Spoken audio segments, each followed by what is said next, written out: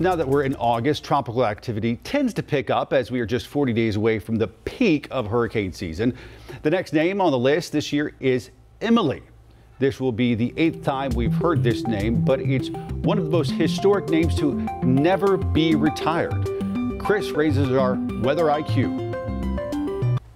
Since 1981, Emily has had many faces and even set some records, making landfall five times and was even a Category 5 hurricane. And yet, it was never retired. Let's raise that weather IQ. This is the Atlantic Hurricane Season name list from 1981. The original list has retired 11 of the most infamous hurricanes in history, such as Harvey, Maria, and Katrina. But not Emily and she has quite the history. In 1981, Emily peaked as a Category 1 hurricane. The 1987 Emily became a major hurricane, made landfall in Hispaniola as a Category 2 storm, caused $80 million worth of damage, and killed three. But that wasn't enough to put her name on the shelf. In 1993, Emily was the strongest storm of the season, reaching Category 3 strength again.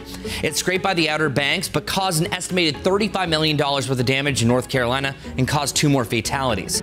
But it was the year 2005 that Emily became historic. Emily became the first Category 5 to form before August, reaching a peak sustained wind of 160 miles per hour. Emily killed six people directly in Grenada and Jamaica before making landfall in the Yucatan Peninsula as a Category 4 storm, and then made a second landfall near San Fernando, Mexico, just south of Texas as a Category 3. Surprisingly, no deaths were attributed to Emily directly in Mexico.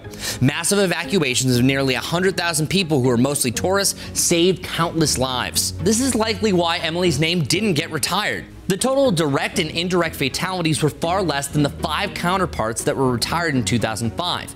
Emily did cause over a billion dollars worth of damage, but again, comparatively, it was far less than the others. I'm meteorologist Chris Mulcahy with WCNC Charlotte.